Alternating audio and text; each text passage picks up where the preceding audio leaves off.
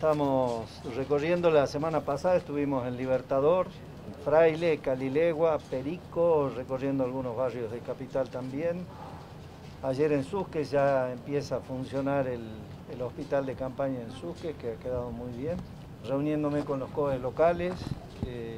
chequeando, punteando un poco cómo está la actividad, cómo, cómo va todo el trabajo en el territorio, este, acompañando también al coronel Aoki, a la ministra Sarapura. La tarea no solo de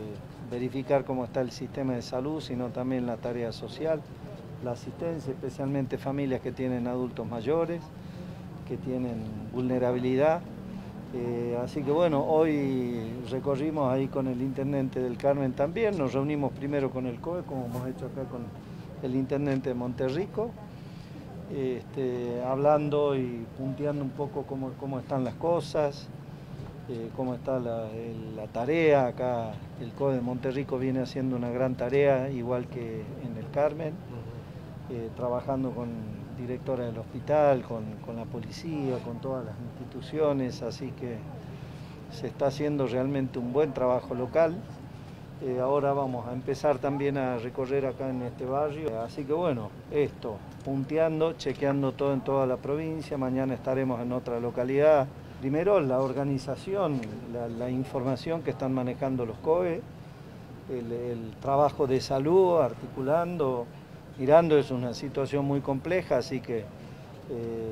para que juntos eh, trabajemos no solo en implementar los protocolos, sino siempre, como hay un crecimiento de casos importantes, se producen fallas en el sistema,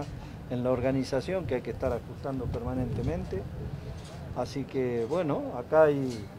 más bien ha habido contagios por conglomerados en, en Monterrico, el tema de Monterrico es que lo que hablábamos con el intendente casi Perico también, Perico y Monterrico son muy hermanos, muy... Y en Perico sí vemos una situación que estuve hablando con el COE el día sábado,